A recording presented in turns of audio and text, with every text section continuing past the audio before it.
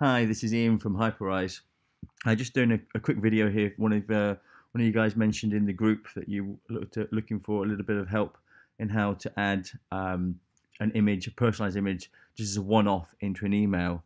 Uh, so what I've done, uh, just got a real simple personalized image here. Just has a, a first name variable on the, on a coffee cup, and we've just got our default source here, which with the first name allows us um, to have the image URL here with the first name value appended to the end there. So if I just copy that link, just jump over into my G Suite account and just choose compose a new email.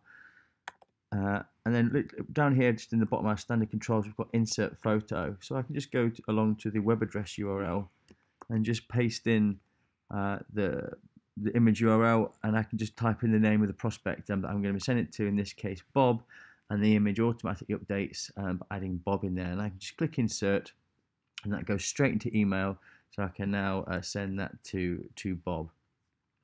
Um, now that's obviously a real quick way of just sending just one um, personalized image. Now what we're going to do on a, a cold outreach program is automate that and send out you know a lot of emails and we can do that with something like GMass which allows us to pull a list of contact details such as a list of emails or a list of first names from a Google Sheet or you know we could use something like uh, Yamm if you're familiar with that, or if you've already got an existing CRM or something like Intercom where you've already got all of your data, you can just re replace the hard values, in this case Bob, with a merge tag. So you know normally squiggle first underscore name squiggle or square bracket.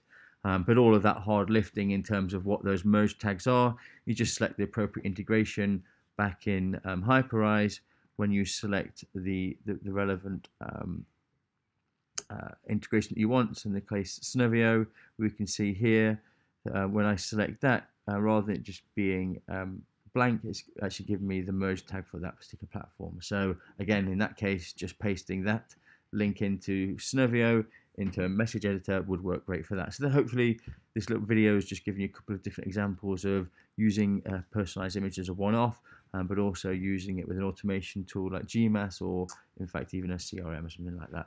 Catch you on the next video.